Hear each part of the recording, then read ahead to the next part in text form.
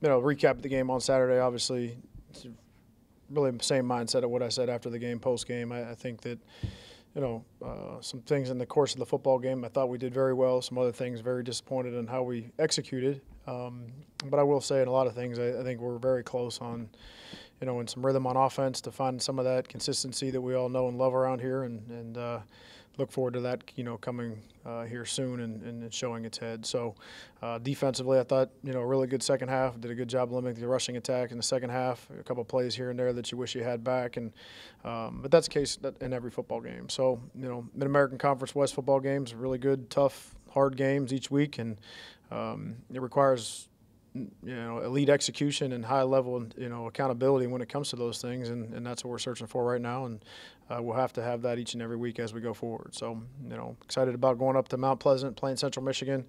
Coach McElwain and his program and uh, a lot of respect for him and, and, the guys that they have on their staff and how they do it the right way. And you know uh, we, we know this will be a tough opponent and one that'll challenge us for 60 minutes from a physicality standpoint and an execution standpoint. So got to have a great week of practice and looking forward to doing that. So that said I'll take a question.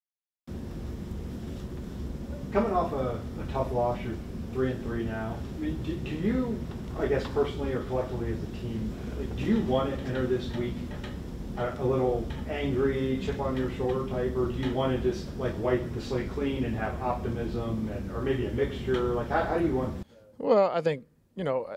I think you look at the grand scheme of things and the big picture of last year after our sixth game, our season was done and over with, and you know we we went home and watched basketball season. You know this is after six games right here where we're at now, no matter what your record is, where you're at, you know, in a lot of sense, our season's just beginning right now, and um, you know that's a different mindset that requires a little different uh, detail of what what it looks like from a coaching standpoint, from a player standpoint, and an execution standpoint of things. But uh, yeah, I mean, if you're a competitor and a true competitor, to me, I think you always take you you, you take the losses harder than you know they're they're they're tougher on you than maybe more than what the enjoyment of a win is. And you know that's certainly the case. You, but you have to get off the mat. You got to keep going, and you got to look. You got to turn the page and go forward and and uh, look what's in front of you because the teams that you that you're going to play down the road, including this one this weekend, they don't really care about what happened to you in the past.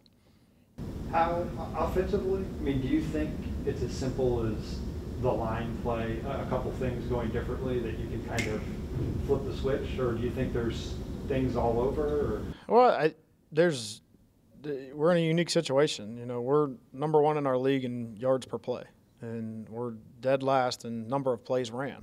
You know, like I don't know if I've been in that situation before. I haven't been in that situation before, but uh, you know that that that means that every play matters, and you know, especially the, the, the situational football plays, the red zone, the third downs, those plays become heightened. And when you don't have a lot of success in those situations, there becomes a little bit more created pressure or uh, anxiety that is stirred up, and you know it. Uh, so yeah, I think there's there's a little bit of that going on, and that's where you'd probably say, well, there's the lack of rhythm then, and you know then okay, well, what do you have to do? You have to take a look at the videotape, and I, like I said, I think there's a lot of cases we're really close to breaking out and having a really great performance on offense on Saturday. You know, we just didn't execute in some tough moments. You know, we you know, uh, and you got to find out why those execution you know, the lack of execution is, is, is going on and, and fix those plays because when uh, this Saturday comes, you're going to have to make those plays.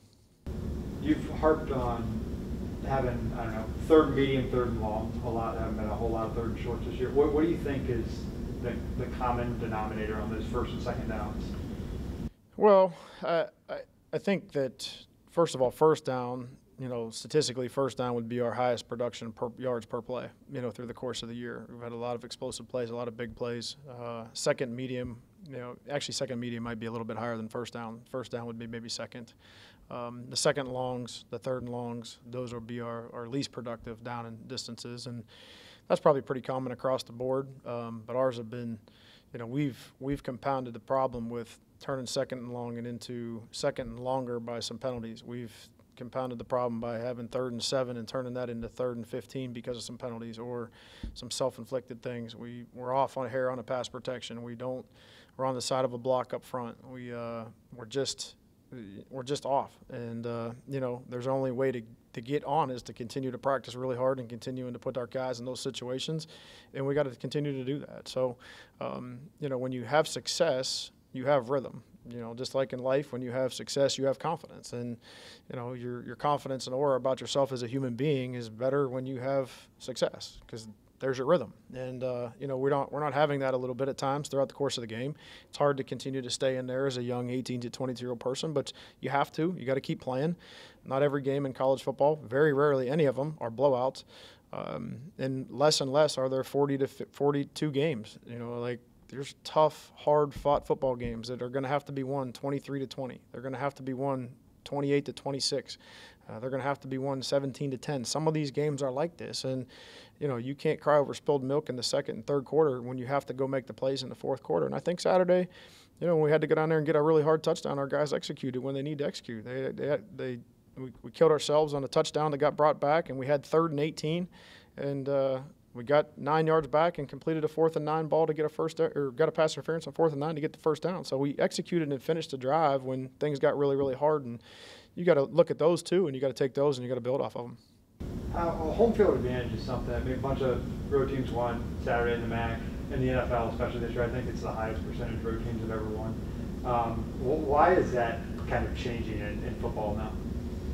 Yeah, I mean that's an interesting question. You know, uh, there's a lot of things I think that go into that. I mean, you know, I, like taking our team on the road. You know, you get a chance to get away, you get a chance to be in a hotel, you get a chance to be just around your guys, you get a chance to lock in on a game plan, wake up. There's not, you know, there's not for the players. There's not 100 people coming into the game that you got to worry about making sure they're okay and doing what they need to do. You're just there with your teammates and you're preparing and playing football. And I think you know, there's a lot to be said for focus, you know, and whether you're the head coach or whether you're an 18 to 22 year old person, like this game requires elite focus. And you have to have it every weekend. And the, the, the more distractions you can eliminate, all right, from a, you know, a, a, scheduling standpoint or more distractions you can eliminate just from a, a logistics standpoint of what you're mentioning, I think you have a, you have an advantage.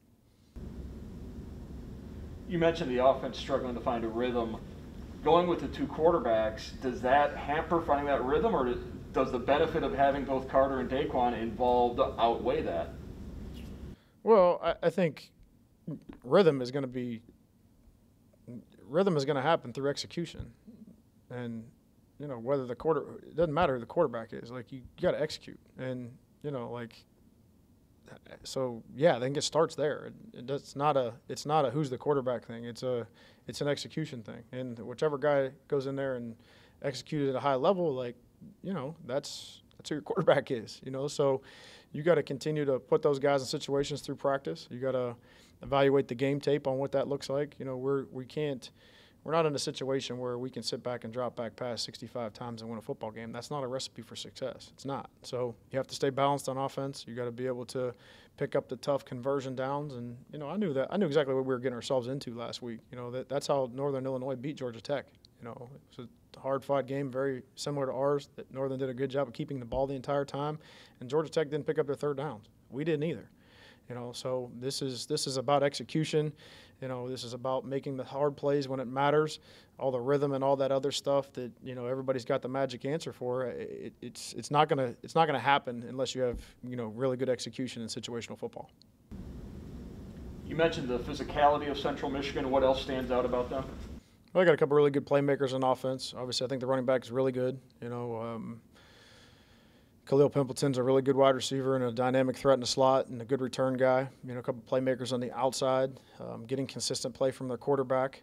Um, you know, an elite pass rusher and, and, Hairston, a defensive end, a guy that was a player of the year in our league last year, and you know, a guy that's a, a good, good football player. Um, good at the second level at linebacker, and have some guys with some length in the secondary that'll challenge you and, and will be confident in their ability. So, you know, just like each and every week, you got to go win the football game, and no one's going to hand you anything. Eli Peters is still around your program. Just what is kind of his role this season? Well, I mean, he's he's a kind of the buffering, the sounding board between you know uh, coaches and the quarterback, and you know he's a he's a unique perspective on things because he, you know, the majority of his time here in his career was spent as a backup. He's been was in that role and can kind of see the game from the sidelines and uh, is good at you know helping those guys throughout the course of the game. Um, you know, and then you know his time as a starter, he benefited from good, hard, intentional work and saw his completion percentage continually rise as he was a player. So he's kind of lived both sides of it, and uh, like I said, has provided a unique, you know, approach to, to helping those guys away from away from the field, so to speak. Do you ever see a time where maybe pass interference is review- reviewable? Sure.